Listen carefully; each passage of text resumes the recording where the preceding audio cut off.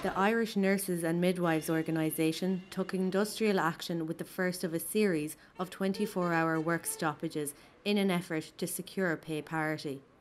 If they address pay, if they address the restoration and the parity that we're asking for, that is the centre point to getting staffing levels to change in a realistic manner. If staffing levels change in a realistic manner, then all of the issues around safety and patient care and waiting times and underutilised facilities are going to change drastically. Nurses on the picket lines of the Rotunda Hospital in Dublin explained why the nationwide strike was happening.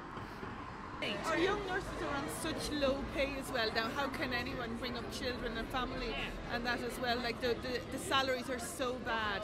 Nobody can buy a house or anything anymore or live a comfortable, not even a comfortable life, but you know, without struggling so much. Our graduates are not on a par with other health professionals. Like if you have a midwife who's done a four-year degree, then done a master's program, and she is competing with the like dietitians, physios. She's not on any way uh, same uh, income uh, level as them. And why why is there not parity of income for people who put in the same and who have such an important role in life as we do?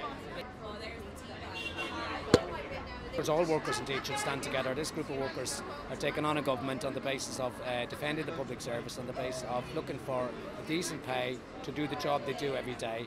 And as fellow trade unionists, we're just extending a hand of support and solidarity and saying that it's really, really important that we all stand together.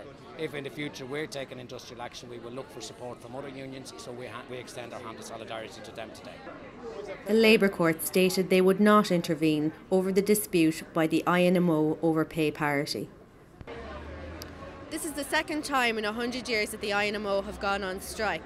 I'm Cáit Caden with DCU TV News.